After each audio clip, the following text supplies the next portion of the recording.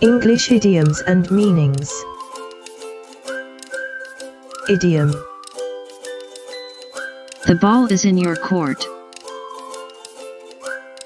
Meaning. It's your decision.